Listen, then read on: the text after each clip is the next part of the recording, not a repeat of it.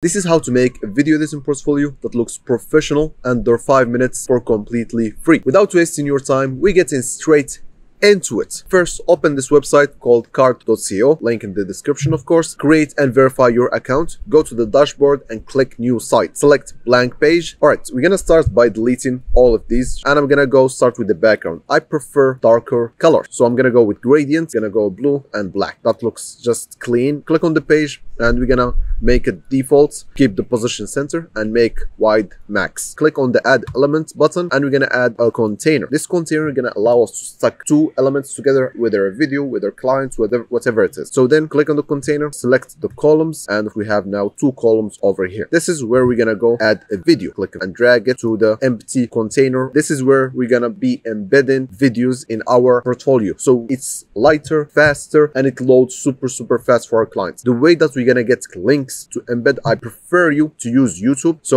on your YouTube channel, even though it doesn't matter if you have no subscribers, doesn't really matter, go to your YouTube channel, upload the video unlisted preferably. You can keep it public if you want, but it's better to keep it unlisted, especially if it is client work with music, so you'll probably get copyrighted. I'm gonna just take a couple videos from my own YouTube channel. You just paste the link, the video URL in the embed. Of course, we're gonna go to the appearance. I'm gonna increase the size a little bit. All right, now we're gonna duplicate the video. By clicking Control D on your keyboard, you can duplicate the element. And of course, we need to change the URL. So I'm just gonna take this video from my own YouTube channel and I'll put the URL over here. Here we go. Right now we have two videos on our portfolio. Click Control S to publish it, add a title, description, and publish URL. You can add your name. We publish it just so we see how the portfolio is coming together. I'm gonna go back to the elements, add text, I'm gonna duplicate these videos. We wanna add more, of course. And now we have more videos. So I'm gonna change the links. All right, now we have long form content. Four videos, I think it's more than enough. Put your four best long form videos in the top. And you know, the purpose of a portfolio to show the client that you're capable of doing the work. So make sure the moment that the client clicks on your portfolio, they see your work immediately. Now we want to add short form content. That's why I kept the text here, name it shorts, duplicate it and drag it below the shorts. So we're gonna change the aspect ratio to portrait mode 960 16 decrease the size as it is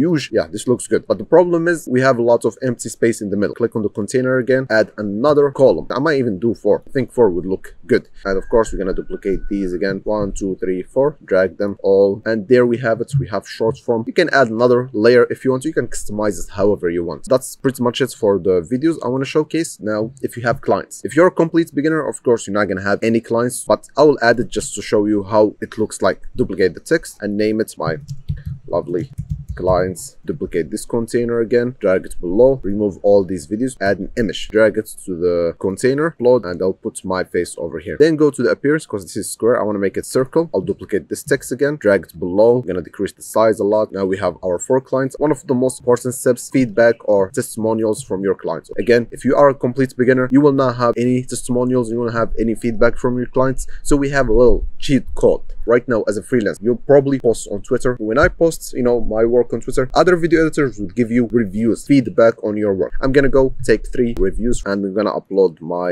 screenshots on. it. This is just a cheat code for beginner video editors or freelancers who don't have any feedback, any positive feedback from clients or have not had a client yet. So we're just gonna make their life a little bit easier to close their first client. So I'm gonna put only three. Don't wanna over overdo it, of course. Yep. Now we have four testimonials or feedback on our page.